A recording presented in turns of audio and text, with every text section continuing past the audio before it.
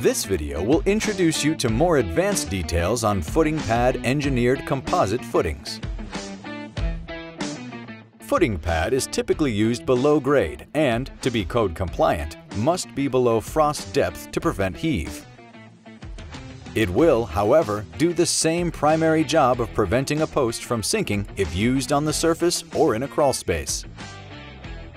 Uplift resistance is often required by inspectors and can be provided by cleats, brackets, or horizontal wood blocks attached near the bottom of the post. The soil sitting on the cleat will prevent the post from pulling out of the ground in high winds.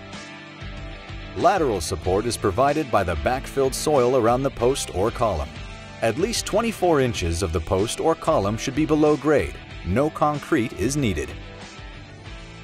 Soil type and load are two critical variables that determine the footing size needed for any footing type. As the load increases, the footing size must also increase.